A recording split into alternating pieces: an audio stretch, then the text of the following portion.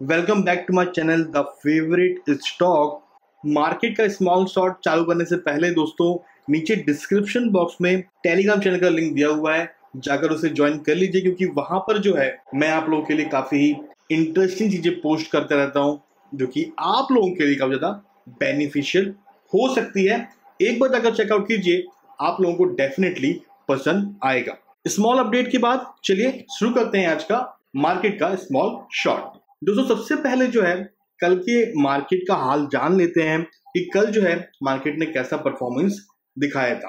दोस्तों, बात करें छह अक्टूबर की सेंसेक्स में आप देख सकते हैं यहाँ पर तकरीबन तकरीबन 600 अंक की हमको अप साइड दिखाई दी है।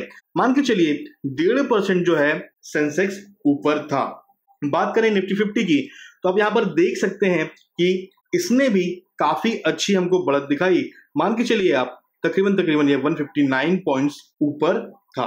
निफ्टी बैंक की अगर हम बात करेंगे तो वो भी तकरीबन दो परसेंट ज़्यादा कल ऊपर था। 242 पॉइंट की एक अच्छी खासी रैली यहाँ पर दिखाई दी है। दोस्तों, अगर बात करें ग्लोबल मार्केट की तो आप देख सकते हैं कि एस निफ्टी जो है, उसने कल कंसोलिडेशन ही दिखाया है। मतलब यहाँ पर कुछ खास हमको हलचल दिखाई नहीं दी है।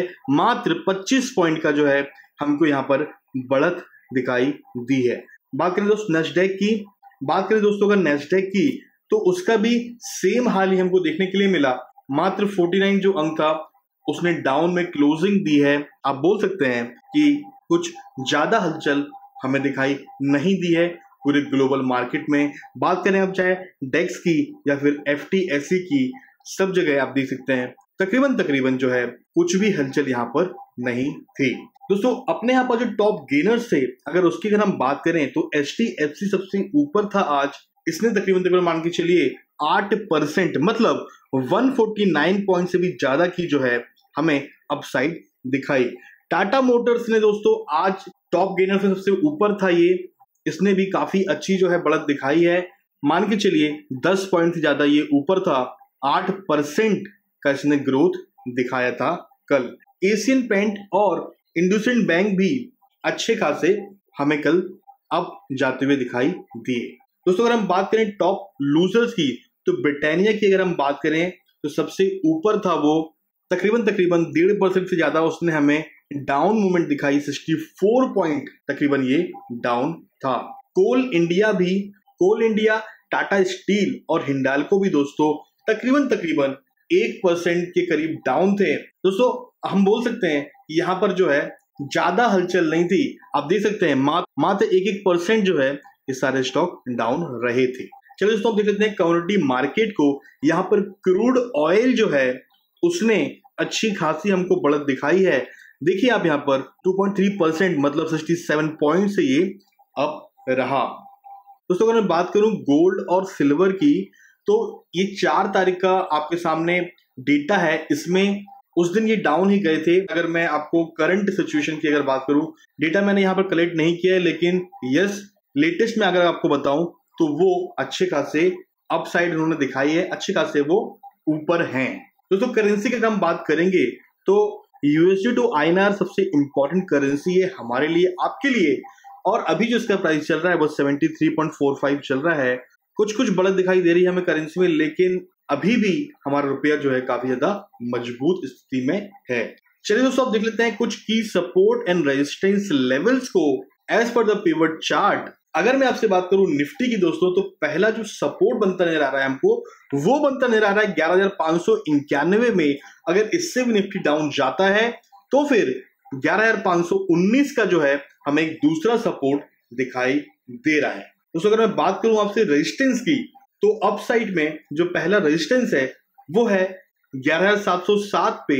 वहीं अगर इसके ऊपर जाता है निफ्टी तो ग्यारह पे हमें दूसरा रेजिस्टेंस दिखाई दे रहा है। दोस्तों, निफ्टी बैंक को भी हम देख लेंगे। यहाँ पर अगर आप देखें तो निफ्टी बैंक, यहाँ पर अगर आप देखें तो पिवट चार्ट के हिसाब से निफ्टी बैंक का सपोर्ट रेजिस्टेंस कहाँ बन रहा है? चलिए देख लेते हैं।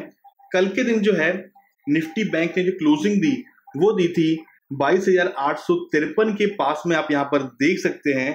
पिवट चार्ट के हिसाब से जो पहला सपोर्ट बनता नज़र आ रहा है, बाईस हज़ार छह सौ अठारह में अगर उससे भी निफ्टी बैंक नीचे जाता है तो फिर बाईस हज़ार तीन सौ तिरासी में इसका दूसरा सपोर्ट हमें दिखाई दे रहा है। अब साइड की अगर हम बात करें रेजिस्टेंस की तो पहला जो रेजिस्टेंस है, वो है बाईस हज़ार नौ सौ इक्यानवे का और अगर इससे भी ऊपर निफ्टी बैंक जाता है तो तो तेईस हज़ार एक सौ अट्ठाईस का जो है, हमें दूसरा रेजिस्टेंस दिखाई दे रहा है। आप यहाँ पर देख सकते हैं। दोस्तों, अगर हम बात करें एफआईआई और डीआईआई डेटा की तो ये सब, ये भी देखना बहुत ज़रूरी है, क्योंकि किस तरीके का फॉरेन इन्वेस्टमेंट चल रहा है डोमेस्टिक इन्वेस्टर किस तरीके से इन्वेस्ट कर रहे हैं मार्केट में, ये हमें पता होना चाहिए। तो दोस्तों, अगर हम बात करें एफ़ की मतलब फॉरेन इन्वेस्टर की तो उन्होंने अच्छी खासी बाइंग की है तकरीबन 1101 करोड़ की जो है दोस्तों उन्होंने बाइंग की हुई है।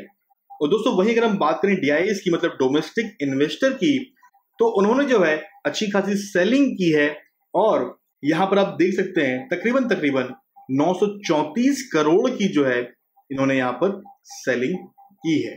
दोस्तों, चलिए अब देख लेते हैं कुछ स्टॉक्स को जो आज के दिन पे बहुत ज़्यादा इंपॉर्टेंट रोल प्ले कर सकते हैं मार्केट के ऊपर। दोस्तों सबसे पहली जो खबर आ रही है वो है रिलायंस इंडस्ट्री से।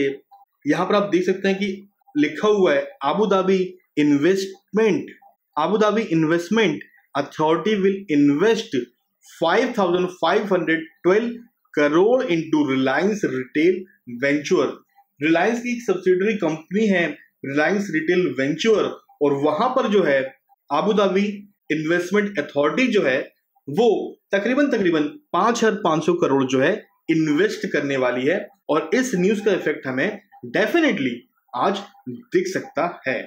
दोस्तों, दूसरी खबर जो है वो एसबीआई से। एसबीआई में जो है कल के दिन मतलब 6 अक्टूबर को जो है नए चेयरमैन अपॉइंट किए गए हैं Dinesh Khara. Dinesh Khara appointed as the S chairman for three years अगले तीन सालों के लिए जो है दिनेश खारा जी को एज अ चेयरमैन अपॉइंट कर लिया गया है। अभी दिनेश खारा जी है कौन हमें थोड़ा बहुत पता होना चाहिए। तो देखिए, यहाँ पे लिखा हुआ है, Dinesh Khara who is currently the managing director in charge of global banking and subsidiaries joined S B as a probationary officer in 1984 and has experience across all verticals of banking such as retail credit S M E and corporate credit तो इनको जो है दोस्तों, काफ़ी ज़्यादा experience है। Banking sector का और और इनको दोस्तों जो है अपॉइंट कर लिया गया है। एक पॉइंट और भी है दोस्तों, जो मैं आपके साथ में शेयर करना चाहता हूँ, आप यहाँ पर देखिए, लिखा हुआ यहाँ पे the government on October six appointed Dinesh Khara as the new chairman of State Bank of India for a period of three years और आज से जो है, उनका अपॉइंटमेंट इफ़ेक्टिव होगा। His appointment is effective from October seven दोस्तों ये भी एक एस के लिए काफ़ी अच्छी खबर मैं बोलता हूँ क्योंकि ऐसे पावरफुल इंसान जब किसी बैंक से जुड़ते हैं तो डेफिनेटली उस बैंक पे भी इफ़ेक्ट पड़ता है। दोस्तों, और ये खबर है। दोस्तों यूटीआई आईपीओ जो आया था 29 से एक तारीख के बीच में, दोस्तों, आज जो है इसका अलॉटमेंट है तो डेफिनेटली आप इस पर नज़र बनाए रखिए। डिटेल्ड वीडियो में पोस्ट कर दूँगा यूटीआई के बारे में, कहाँ से आपको चेक करना है, कब आपको चेक करना है, कितने बजे तक इसका अलॉटमेंट आ जाएगा। तो अगर अभी तक आपने मेरे टेलीग्राम चैनल को ज्वाइन नहीं किया है तो फिर ज्वाइन कर लीजिए, मैं वहाँ पर जो है आपके लिए सारी चीज़ों को पोस्ट कर दूँगा। साथ ही दोस्तों मजगांव डॉक का भी जो है, आज अलॉटमेंट स्टेटस आने वाला है। उनतीस से एक तारीख के बीच में ये वाला आईपीओ भी आया था और आज जो है, इसका अलॉटमेंट स्टेटस भी हमें देखने के लिए मिलेगा। मैं जानता हूँ आप में से बहुत से लोगों ने इसमें सब्सक्राइब किया होगा। कहाँ से चेक करना है? दोनों के दोस्तों, जो रजिस्ट्रार है, वो अलग है अलग अलग साइट से आपको जाके चेक करना पड़ेगा। कहाँ से चेक करना मैं डेफिनेटली अपने टेलीग्राम चैनल पे पोस्ट कर दूँगा। अभी तक अगर आपने मेरे टेलीग्राम चैनल को ज्वाइन नहीं किया है तो उसे जाकर ज्वाइन कर लीजिए, क्योंकि वहाँ पर मैं सबसे पहले पोस्ट करूँगा कब इसका अलॉटमेंट स्टेटस आएगा और कहाँ से आप इसे चेक कर सकते हैं। दोस्तों, अगर आपके पास कोई डीमेट अकाउंट नहीं है तो उसकी थोड़ी सी इन्फॉर्मेशन मैं आपको देना चाहता हूँ। फ्री में आप डीमेट अकाउंट कैसे खोल सकते हैं और बेस्ट ब्रोकर के साथ में आप कैसे डीमेट अकाउंट खोल सकते हैं, उसकी इन्फॉर्मेशन मैं आपको देने वाला हूँ। अगर आपके पास में ऑलरेडी डीमेट अकाउंट है तो आप वीडियो को स्किप कर सकते हैं। अदरवाइज़ आप बने रह सकते हैं मेरे साथ डीमेट अकाउंट की ओपनिंग की इन्फॉर्मेशन के लिए। दोस्तों वीडियो के डिस्क्रिप्शन बॉक्स में दो लिंक मैंने दिए हुए हैं।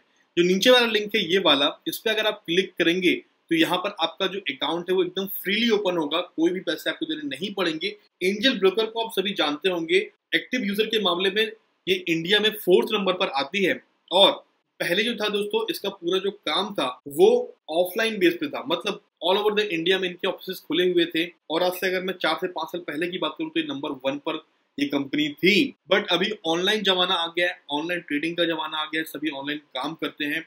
तो इन्होंने भी अपने बिज़नेस को ट्रांसफॉर्म किया है पूरा।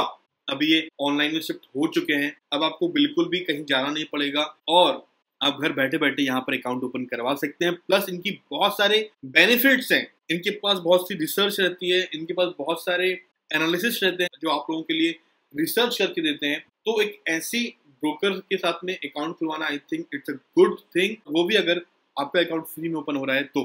तो इस लिंक पर आप क्लिक कीजिए। कुछ डिटेल आपको फिल करने के लिए बोलेगा। एक दिन के अंदर आपका सारा अकाउंट ओपन हो जाएगा। एंड अगले दिन से ही आप ट्रेडिंग की शुरुआत डेफिनेटली कर पाएँगे। अगर आपको ज़ीरो में अपना अकाउंट ओपन करवाना है तो वहाँ पर आपको दो सौ पे करने पड़ेंगे, आपको इस लिंक में क्लिक करना है। एंड बताने की ज़रूरत नहीं है नंबर वन इंडिया का ये ब्रोकर है तो आप चाहें तो यहाँ पर भी अपना अकाउंट ओपन करवा सकते हैं। अगर आप इक्विटी में अपना अकाउंट ओपन करवाएँगे तो मात्र दो सौ रुपए में आपका अकाउंट ओपन हो जाएगा। अकाउंट ओपन करने के लिए आपको जो डॉक्यूमेंट चाहिए, वो है Aadhaar card, PAN card cancel cheque और आपका मोबाइल जो है, आधार कार्ड के साथ में लिंक होना चाहिए। ये चार डॉक्यूमेंट बस चाहिए दोस्तों आप लोगों को। और आपको अगर एफ़ में ट्रेडिंग करनी है फ्यूचर एंड ऑप्शन भी आपको ट्रेडिंग करनी है देन आपको सिक्स मंथ का बैंक स्टेटमेंट भी लगेगा, मैंने यहाँ पर मेंशन किया है। दोस्तों, अभी तक अगर आपके पास में डीमेट अकाउंट नहीं है तो आप यहाँ से ओपन करवा सकते हैं, ठीक है? और दोस्तों अकाउंट ओपनिंग में आपको अगर कोई भी प्रॉब्लम होती है तो मुझे नीचे कमेंट बॉक्स में अपना क्वेश्चन लिखिए, मैं आपको डेफिनेटली रिस्पॉन्स करूँगा। दैट इज़ माई रिस्पॉन्सिबिलिटी कोई भी आपको प्रॉब्लम नहीं होगी। तो दोस्तों, अभी के अभी लिंक पे क्लिक कीजिए और अपना अकाउंट को ओपन करवा लीजिए। दोस्तों, कैसा लगा ये वीडियो? मुझे कमेंट करके ज़रूर बताइएगा। अगर ये वीडियो पसंद आए तो वीडियो को लाइक करना बिल्कुल भी मत भूलिए। अभी तक अगर आपने मेरे चैनल को द फेवरेट स्टॉक को सब्सक्राइब नहीं किया है तो सब्सक्राइब भी कर लीजिए। मैं आप लोगों के लिए ऐसी अच्छी अच्छी वीडियो लाता रहता हूँ। मिलते हैं बहुत जल्द अगली वीडियो में।